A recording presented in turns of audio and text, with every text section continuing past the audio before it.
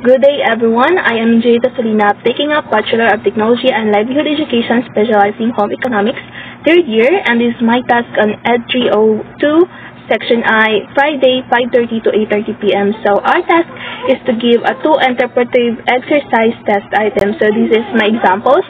First, as you can see there, there is, there is a graph and my learning competency is to identify the student's assessment performance in every quarter in the whole school year. So as you can see, there is a first quarter, second quarter, the third quarter, and the fourth quarter. So the question is, what is the average percentage of the student in the whole year or in the whole school year? So you can see this, or you can see there, and you can identify or if what is the um, average of the student in every quarter. What is the percentage that they got in giving them an assessment? So there is also below the average percentage that you get and how did you get the general or the average percentage of the students.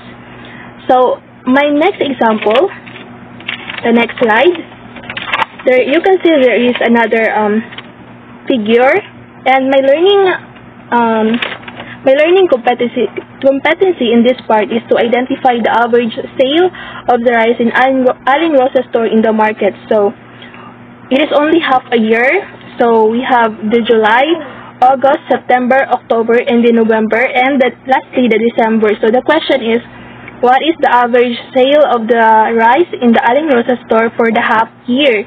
And blank, the average sale, of course, and then how you get the average sale. So that this is my example of the interpretive exercise that must be answered by the students. That's all about the task. Thank you so much for watching.